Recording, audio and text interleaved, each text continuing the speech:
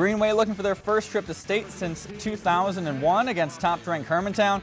Raiders get on the board first as Ben Trombley gets close for the 1-0 lead. Tied at 1, the Hawks take the lead. Blake Biondi with the goal. But Trombley would score a second of the game for Greenway, making it tied at 2. That's how regulation would end. And we go to double overtime. Greenway's Dante Lawson on the rebound scores for the game winner. Greenway ends Hermantown's streak of nine straight trips to state.